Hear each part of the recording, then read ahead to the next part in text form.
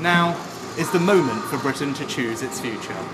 On May the 22nd, British Prime Minister Rishi Sunak took the country by surprise when he stood here in Downing Street in the pouring rain without an umbrella and announced that there would be an election on July the 4th. Sunak is urging voters to back the Conservative Party, which he leads and which has been in office since 2010 under five different prime ministers. Uh, the left of centre Labour opposition has lost four straight elections, but under its leader Keir Starmer, it has had a steady lead in opinion polls for more than a year.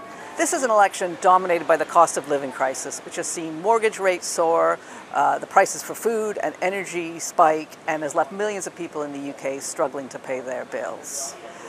The Conservative Party, which presided over uh, this cost of living crisis is arguing that its economic plan is now working, and they claim that a Labour government will raise people's taxes.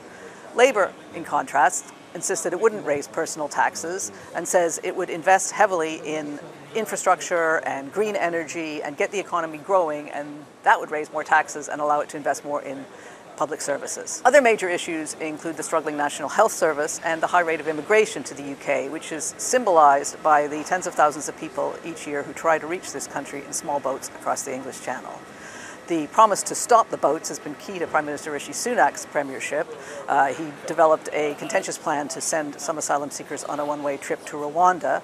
Uh, that has yet to happen, and his failure to live up to that plan may well hurt him at the polls. The Conservative campaign got off to a pretty inauspicious start with that rain soaked announcement by Sunak, and it hasn't really taken off. Uh, Sunak has made a number of unforced errors, uh, most notably leaving commemorations for the 80th anniversary of D Day in France early.